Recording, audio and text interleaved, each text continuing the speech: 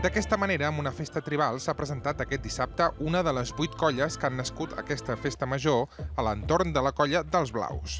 Amb el títol de Despertar, Nakaits neix amb l'objectiu de despertar la colla i pel resultat de la festa major sembla que els hi ha funcionat.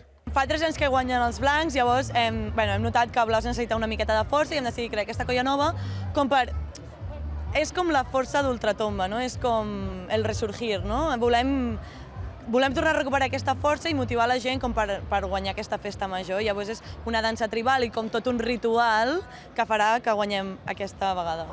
La nova colla s'ha presentat amb un acte en forma de ritual i dansa que el públic ha seguit des de la plaça de Maluquer i Salvador. La idea va sortir l'any passat per estar reunits amb amics i hem dit, mira, volem fer, veure la, la festa d'una altra manera, per què no muntem una colla pels blaus? I això, per Festa Major l'any passat, parlant entre nosaltres, vam dir, doncs pues, va, ens llancem i a veure com surt. Al final, la nova colla ha ballat i ha fet ballar a tothom per completar el ritual d'inici del grup.